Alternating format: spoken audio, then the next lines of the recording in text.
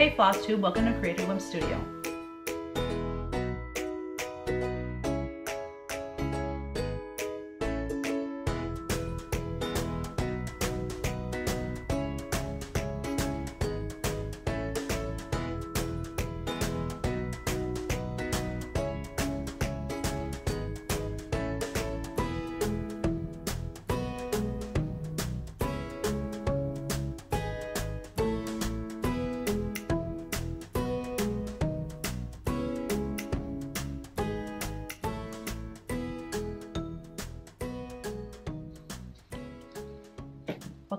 Everybody. I can't believe last week I forgot to say Happy Father's Day to all you papas out there. Dads, you're awesome. We had a really nice day. It was it didn't rain. It's rained every day since, but no, it was really nice. I made lasagna and mom cut up a big old salad and we had uh, garlic toast. And then I made chocolate delight. Everybody has had this recipe. I don't know if that's like the technical name of it, but it's where you make like that shortbread at the bottom. It's just flour, butter, powdered sugar. No, flour, butter, and pecans. tastes like a pecan sandy and then you bake that and let it cool and then you take cream cheese and powdered sugar mix that together put that layer on then you put a layer of chocolate fudge pudding on and then you put a layer of whipped topping on and sprinkle the rest of the pecans on top and then refrigerate it till it's super cold. I made it two days in a row because last saturday we went to some friend's house and so i brought that as a dish to pass well it sat outside a little long and it kind of got mushy and stuff. And there was some because my mom was like she was going to go to the party her and Jerry were going to go, and then they decided not to. And she said, "Oh, I hope there's some of that dessert left because she really wanted some." so I made it the next day. That way she, she could have some. And I don't normally make a dessert. We're not big dessert people. I mean, do we like it? Yeah, but we just don't. It's it's funny that I that I'm not because my dad being from Missouri, like that's what's that's what they did after dinner. You had dessert some sort of dessert. And my grandma was always making something sweet, you know. So I don't know. We just never adopted that into our lifestyle. So we had the all the kids here, grandkids. Eric had to work though. Poor guy. He works third shift, like I think three days or four days a week, I think. And then he cuts hair, you know, at his business. The other days, he's just working himself crazy and it, it, makes me sad we don't see him very much, and I know I know he's got to be exhausted. So, um, anyways, uh, Kevin got a JBL boombox. JBL is a really good brand speaker. It's as good as Bose, really, as far as I'm concerned. I don't really know the technicalities of either one, you know, to compare them, but it's really good. I mean, Kevin's band uses JBL speakers for, you know, playing in bars and playing out places. So, you know, it's good. And then we have the little JBL clip where you clip it on your belt loop. And when you're out in the yard, you can play the Bluetooth, you know, like Pandora or Spotify, whatever you use, and play your music. And that's this really good sound quality. Anyways, he was looking for something that was larger that we could use out at the bonfire. And uh, We got ghosts now. Hello. Oh, jeez, Athena. Hello. um, and he wanted something waterproof because in case it rained or he left it out there and the dew got on it or something. So, anyways, this is a waterproof JBL. It was very expensive, but I thought, you know, it's kind of a family gift in a way because we all like to sit around the bonfire So. Anyway, yeah, and it was a great day. And then um, Jerry got, he bought a, mom and him went to Best Buy and he bought a drone. That thing is the coolest. I'll insert a video at the end, but it is really the coolest thing. I've never seen a drone in person. And how accurate this thing is and how fast it can go. It can fly up to five miles away. And you know, it's got the camera on it so you can see like I want to use it and try to see wildlife because we have, you know, a river around here and everything. But I mean, it's his. I'm not going to use it. I want to get Kevin one, but um, maybe at Christmas time. Oh, and this and when it's snowy, I would be even more awesome because without all the leaves, you could see the wildlife better. They'd show up better. So anyway, super cool. If you've never seen one, it is something to behold. So anyway, yeah, great Father's Day.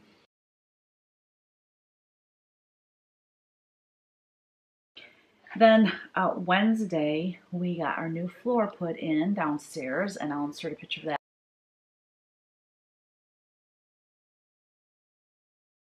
That looks so good. Hold on, I gotta put insert, I've gotta put these things in or I won't remember to do it. but yeah, it looks so nice. It basically doubled our living space. I mean, we it was livable before, but it just didn't look that good. So now with the floor in, you know, we're inching our way towards having the whole downstairs completely finished and renovated, and it looks really nice.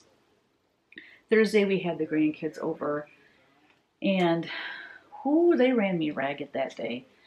Uh, they did both have a nap though, because Bree said they really didn't sleep very well the night before. But it rained. We thankfully took them outside before their nap because it rained the rest of the day. But we they played in the sand and I threw the ball for Athena in the pond. She got to swim a little bit. So I couldn't believe it. The kids didn't ask to swim or to get in the pond. Didn't even want to get their feet wet. Like I didn't ask them because if I asked them, of course they'd say yes. But they just were happy playing in the sand. And then after their nap, it rained. Like I said, it rained the rest of the day. I mean, it's been raining like crazy. It rained all day Thursday, or yeah, half day Thursday, all day Friday, and when I got up this morning, it was still raining. By the way, today is Saturday, the 26th of July, of June. June, my heavens, Betsy. And it is uh, floss tube 124, I believe. Yep. Yeah, moving right along on those floss tubes. Anyways, we're supposed to get rain like every day for the next seven days, but we needed it. We're actually still in a drought, even though we've had constant rain, like a ton of rain. It's just we had such a dry spring that the water level is low and our pond is suffering. And even with all that rain, you can't look at the pond, you can't really tell. You would think there'd be runoff, but there's not because the water is just being absorbed into the ground. So, okay, um, things that I did in my business this week. Ooh, I did a lot. I I finally like finalized all the giveaways and things that I'm doing for the Silver Needle Retreat. I have everything ordered. I also finished the cover and directions for the sampler that I'm giving away for the retreat. It's going to be exclusive to the retreat um, attendees for a year, and then I can release it. And then I fully fin- fully finished. I did the covers and the directions for two samplers that I'm releasing at Needlework Expo at the end of August. But as a perk to the attendees of the Silver Needle Retreat, they'll get to purchase them at the retreat. So I got all that done. That was huge. And I also got the Patreon uh, charts designed. And yeah, so it's been busy. I've been working on, not as much as I need to, but I've been working on the punch needle for the fall, Punch Needle Primitive Stitcher magazine, due July 1st. Yeah, which is next weekend. So I'm going to be punching my little brains out um, the rest of today and Monday. I should be able to get it done Monday. And then I have one more bear calendar image to paint Monday or Tuesday. And then that will be done too. So then I can kit up everything for Silver, Silver, Silver Needle Retreat. And then my biggest deadline after all of that is done is my fabric line, which is due August 1st. So after the Silver Needle Retreat, I'll have a couple weeks, and that's what I'm going to just hunker down on and focus on. I have a lot of the sketches done, but I have to paint everything and I have to make the coordinates, you know, using Photoshop and make the repeats and all that. So it'll be, yeah, so it's going to be insane. Kristen's coming into town on next Thursday, this coming Thursday and she'll be here till Monday. So anyway, it's just just a lot. So when August hits, I'm going to be like, yes, because I'm going to have all my deadlines met. Everything's going to be I mean, I still have the Bear calendar to paint, but the deadline for getting the cover and the two inside spreads done is. Anyway, I'm sorry, I'm just rambling now. I'm trying, because you know what? I have this constant reel in my head because I have to remember. I mean, I have it written down, but I have to remember what's due when, and you know, it's like a constant thing in my head. So I wanted to give you guys a huge, huge thank you. I titled my last video Over the Knots because I was just getting very frustrated. And so I appreciate everyone's tips on how to not get knots, how not to get knots. And what has worked for me is just wetting it. It's it's debatable, I guess, on whether to use the beeswax. Some people, a lot of people suggested it, but then there were some people saying that you know it's not in archival something. I don't know. So I thought, well, I'm just going to stick with wetting it. Of course, you know, you have to make sure that it's color fast. Otherwise, it could bleed onto your linen. So, you know, there's all these things to consider, but it has really helped me by wetting it first. And um, again, just letting it hang and untwist every so often. I think too, I was using a too long of a piece of floss because I'm used to punch needle. And when I do punch needle, I mean my floss is like probably three foot long, and I so I can just punch, punch, punch, punch, punch. But um, I think I was using probably 18 inches to 24 inches long, and someone said about 15 inches would be sufficient. So I'm using a shorter thread, and that helps too. So thank you, everyone. I really appreciate it. I just this community is amazing. Okay, announcements. So yeah, I'm really excited. On July 10th, which is a Saturday, from 1 to 2 at Keepsakes in Cincinnati, Ohio, I am going to be there for a meet and greet. Kevin and I are going down to pick up the trunk show that was at StitchCon. And so she has it on display at the shop, and I'm going to be there for a meet and greet. And it's only an hour long, and the reason is because we have to hightail it back to Findlay, Ohio, because I have a framed piece.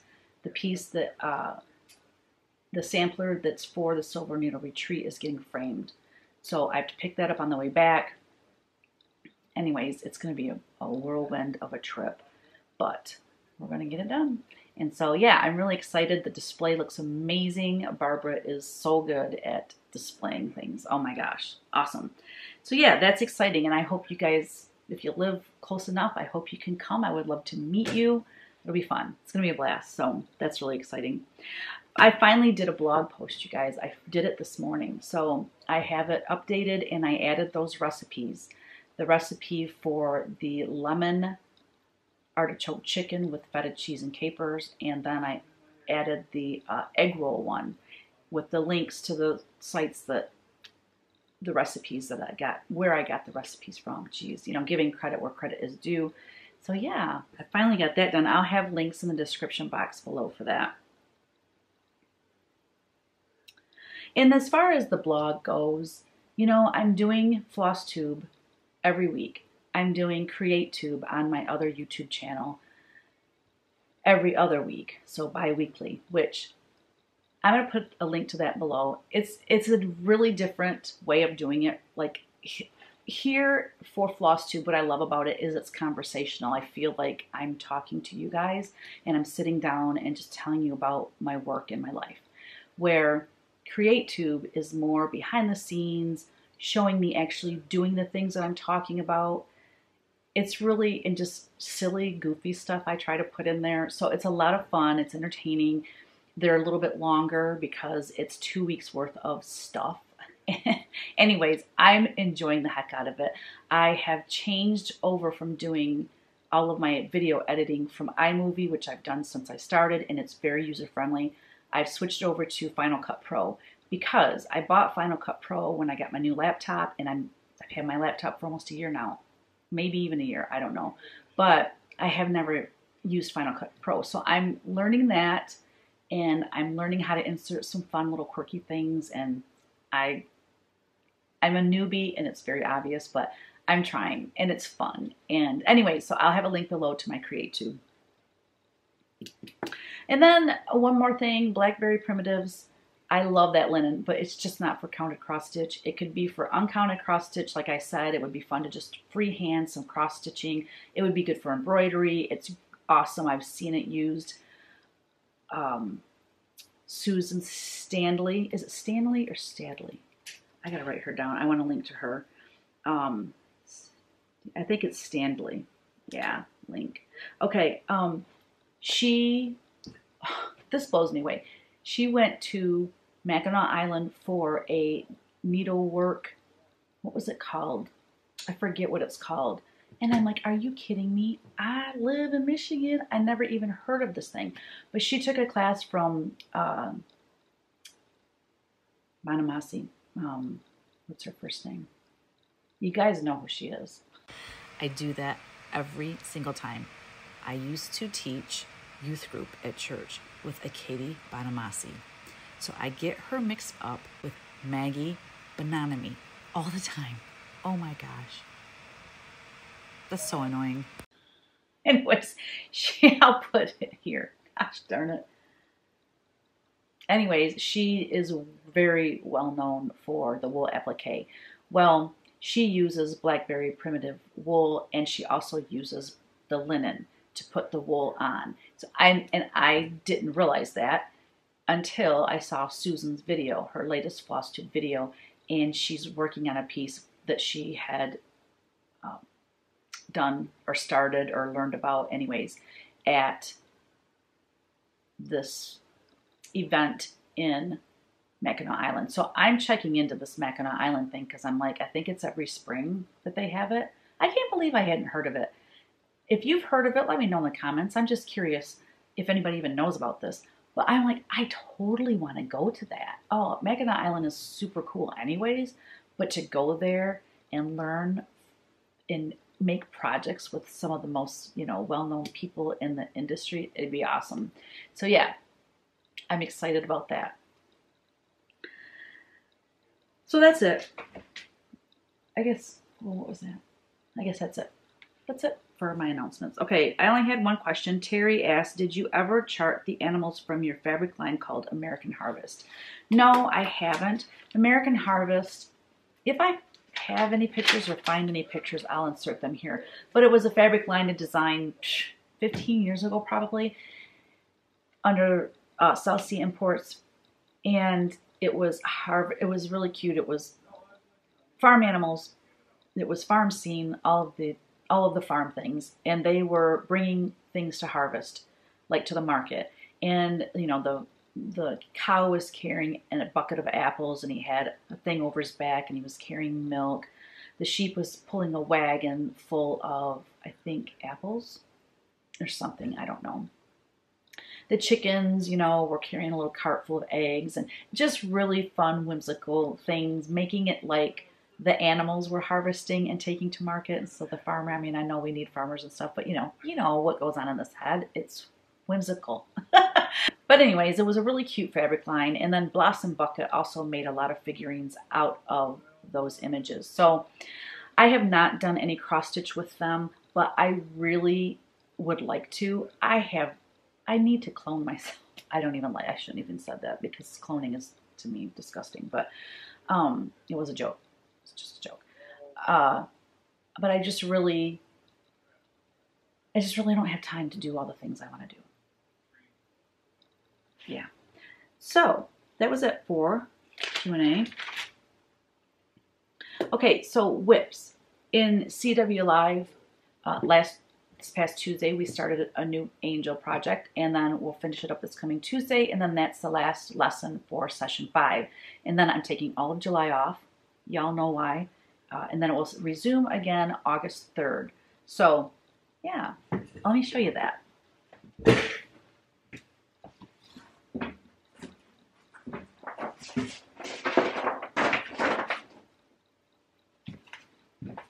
So this is Ariel. So we got a huge, huge start on it. I was really pleased. We worked a couple hours and this is how much we got done. So this Tuesday we will finish her up and I'll show her to you in the next floss tube. Give you a little close up. Okay. All right, so for my WIPs for needlework, I am working on a punch needle for the Punch Needle Primitive Stitchers magazine, the fall issue, so I can't show that, but I can show you the progress I've made on my on my girl you guys, I got a lot more done than I thought I would, which really pleases me. Well, I guess I'll just hold it up to this.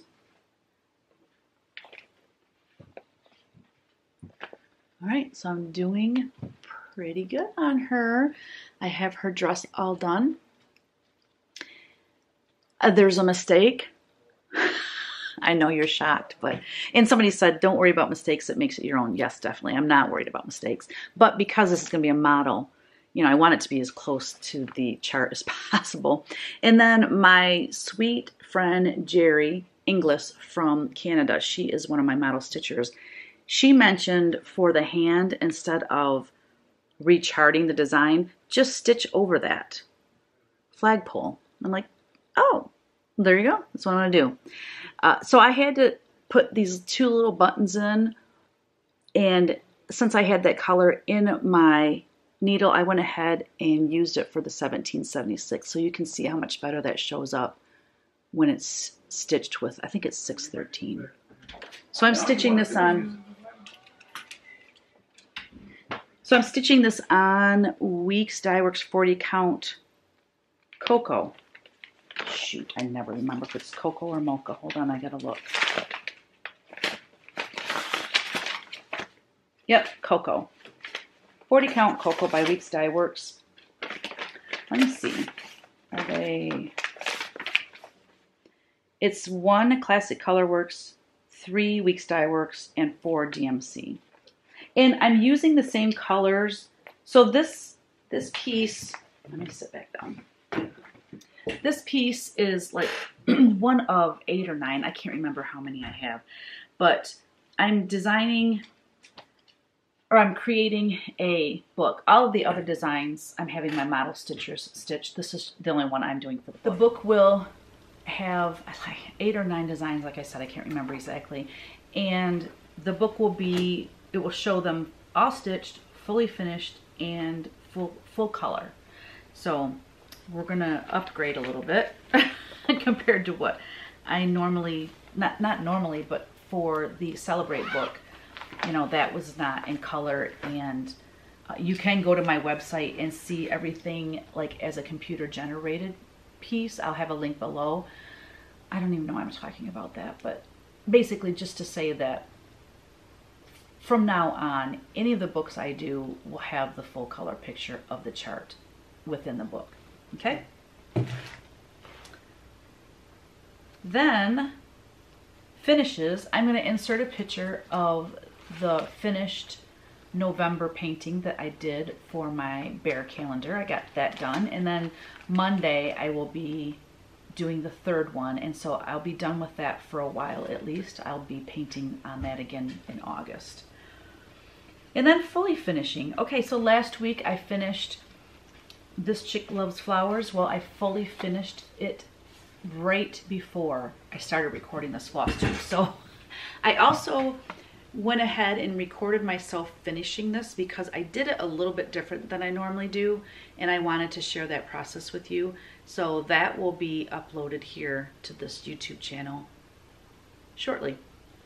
So I used oh god, Lady Dot creates Texarkana. Oh, I can't remember. Let me go grab it. Okay, Dames of the Needle, Tex Arcana Sage. Mini pom-pom around the edge. And then I adhered it to this cool, grungy looking little frame. I love it. I love how it turned out. It'd be so perfect in a kitchen. So this image is, or this design is from my Celebrate 15 Years of Needlework punch needle book. I'll have a link below to my Etsy shop. Let me write that down. Um, I'll do the Celebrate book cross stitch and then the Celebrate book punch needle. So I have a link to each one of those. All right, we're on to haul. And this week's haul, Weeks Dye came in, guys. I love it when my floss tree is full. Let the designing begin. That's how I feel. All right, let's show the gorgeousness. Oh my goodness. So beautiful. Red Rocks Peacoat and Gunmetal. Oh, so beautiful.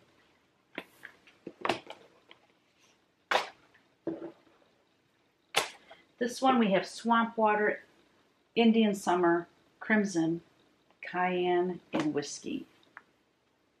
Look at how gorgeous.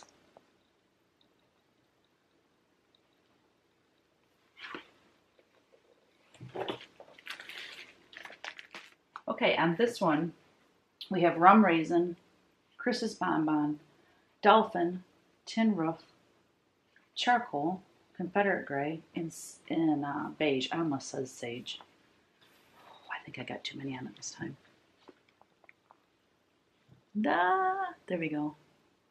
So Crimson, Chris's Bonbon, Tin Roof, Dove, no, Dove, and then Tin Roof. I don't remember.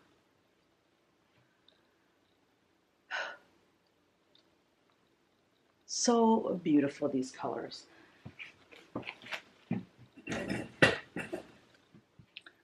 So yeah, last week I got in my Classic Colorworks. This week I got in Weeks Dye Works. Let the designing begin. All right, guys, that is it. We're moving on to our giveaway. I lost my handy dandy notebook. Okay, so last week you had to say July in your comment, and you, if you did that, you were entered into the drawing for the Summer Punch Needle Primitive Stitcher magazine, and I will insert the YouTube random comment picker here. All right, let's see who wins this week. Da, da, da, da, da. Deb J. She said, I do start stitching for Christmas early in the year, just not in July. Thank you, everyone, for your comments and congratulations to you, Deb. Let's get back to the program or whatever it is. Not really a program. What is it? Floss tube. Let's just get back to floss tube. Congratulations, Deb. If you could please email me at teresakogut3 at gmail.com and give me your address, I'll get that in the mail to you ASAP. And, you know, again, if you already have that copy, you can gift it to another person or pay it forward somehow. Okay, so this week, my question for you is Do you want to learn punch needle? Is that something that you have on your horizon? I won't be offended if you say no. Don't worry about that. Trust me. We want it, like, I want to do punch needle, cross stitch, wool applique, and quilting. Like, I want to do all those. Oh, and of course, painting, that just goes without saying. That's my first love. but I want to do all those things. But the reason I'm asking is because, so the key word is punch needle. And then the prize for next week, I'm giving away three of my punch needle tutorials. So I have a tutorial and I'll have a link below to the punch needle tutorial. So for the tutorial, it costs $37, but you get that much free PDF downloads of punch needle. So it offsets the cost, okay? There's tons of information out there about how to do punch needle. I have, if you go to my, this channel here, Teresa Kogut's Creative Whims, and you go to my playlist, I have punch with me videos. I have a lot of videos about punch needle that will be very helpful to you. So you don't necessarily have to take a tutorial. The other thing is Vonna Pfeiffer just did a lot, like she did live videos. I think she did three of them showing every aspect of punch needle that you can think of. So that was a gift. That was a beautiful thing to do. So let me write that down so I can link it below. And it, you know, not just me, not just Vonna, but other people have information out there on how to punch needle. So that's why I want to give three of these away. And that's also why my tutorial is like you can download the PDFs so it offsets the cost. So anyways, there's a plethora of information out there for you if you are interested in learning how to punch needle. I I really love punch needle and I'd like to discuss it more in my channel because there's not a lot of channels that do that. It's mostly about cross stitch. So, you know, I I'm gonna look for like maybe one week I will give like I'll go through the whole punch needle process, but each week I'll just focus on one aspect of it. You know what I mean? Like compare needles one week. Um, to talk about like just tips and tricks that might help you. One week I'll talk about finishing, you know, just stuff like that. And just throw that in every so often so that I was gonna say I could do it every floss tube, talk about punch needle in some sort of way. Why not, right? Why not? Because I know a lot more about punch needle than I do cross stitch or quilting or wool applique. and I never did get a hold of the attic about seeing if they had a silk conversion for uh, All Creatures Great and Small by Barbara Ana. It's so funny. You know how like when somebody buys a car, you never noticed that car before, but once somebody buys it, you see it everywhere. I am seeing Barbara Ana's All Creatures Great and Small. I'm seeing it on Instagram like crazy now. It's just so funny how that works. So yeah, that's my one that I am going to stitch of somebody else's. I might be 90 when I'm done with it, but I'm doing it. So anyway, that's it, guys. So just make sure you leave a comment with the word punch needle in it. Let me know if you're interested in punch needle or not.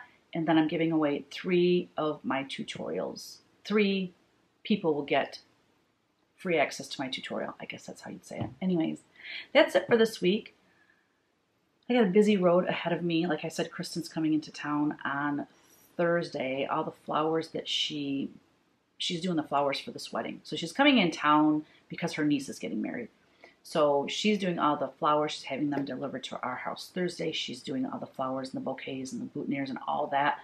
Friday, I don't know if she's doing them here. I don't know really. I need to get with her on all of that. And then I'm going with her to the wedding on Saturday. And then Sunday, we're having like a 4th of July party, not a huge party or anything, but just having uh, Kristen and her daughter and her daughter's new husband. They are going to be here. I say new husband as if she had an old one. No, but you know, I went to Tennessee for Gabby and JT's wedding. Well, they're going to be up here, and we're just going to have a cookout and hope to God it doesn't rain because it's supposed to rain like so much this coming week. Anyways, I think that's it. I think that's it for this week. So thank you all for being here and spending your time with me today, and I wish you a very happy week and I will have a Flosstube before the 4th of July, so I guess I don't have to say happy 4th of July yet. Okay. Anyways, don't forget, creative day. Bye. You might be a redneck if you want to grill down below under the deck and it's raining. You use tarps to keep yourself dry, and then you bring the kids outside and they play in their little puddles that are forming on the tarp. Rednecks are smart. There you go. Is that fun? You ready to go in? Hey, puppies. No. Ain't okay.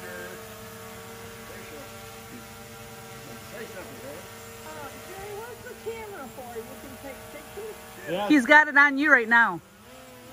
you can record, you can. Right, come here. Look at the blades in here, though. Oh, yeah.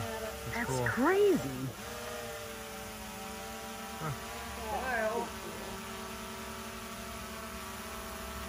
That is the coolest thing.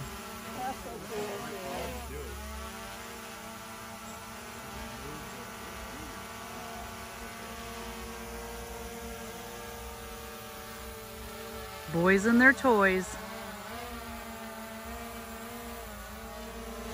Hello. It really does create a nice breeze. Yeah. and